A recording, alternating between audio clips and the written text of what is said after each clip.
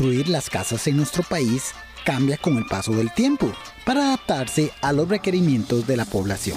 Sin embargo, en 1910 se empezó a utilizar en Costa Rica el bareque, del cual hoy en día queda muy pocas y algunas de estas las podemos encontrar en Barrio Luján, en San José. Hola, mi nombre es Carlos Salazar, soy barrio lujaneño. Vamos a ir aquí en nuestra comunidad para que conozcamos un poquito del vestigio de casas que todavía nos quedan antiguas. Acompáñenos. Este tipo de casas que vemos atrás eran las más comunes en la comunidad obrera de Barrio Luján, llamada Chirrión. Estas casas son del año 30-40 de ahí en adelante que era el sistema constructivo muy, muy común de la época para la clase obrera. Como podemos ver, el tipo de puerta de entrada, eh, las ventanas que se abrían, el tipo para refrescamiento de la misma, ¿verdad?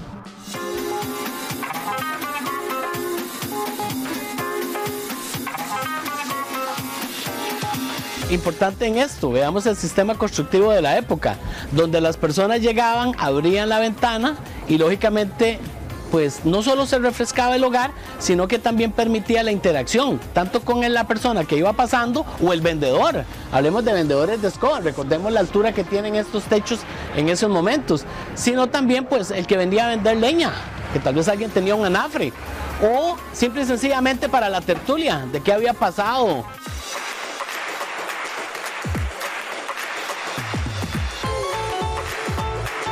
Atrás tenemos algunas de las casas más emblemáticas también. Vemos que este tipo de construcción se dio para los años 40, ¿verdad? Ahorita vamos a, entrar a una de ellas para que veamos cómo era la distribución.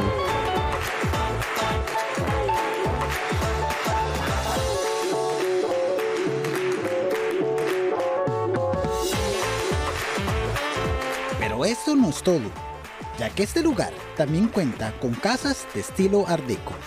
Haciendo Barrio Luján, de verdad, una de las comunidades más antiguas. También atrás podemos ver una de las primeras iglesias protestantes que se dieron. Por si fuera poco, las calles de esta comunidad se embellecen con auténticas casas victorianas que nos hacen recordar tiempos más simples. Bueno, para ir cerrando la documentación que hemos realizado hoy, las visitas, vamos a hablar de la familia Pereira y de los Albertazzi, son de las casas más representativas. También recordemos que muchos de los italianos vinieron a vivir acá después de la Primera Guerra Mundial, entonces eh, los Albertazzi, los Balituti, los Arone, los Antonini, eh, son algunas de las familias que llegaron acá a ubicarse y que le dieron un sistema constructivo también muy elegante y muy bello a nuestra comunidad.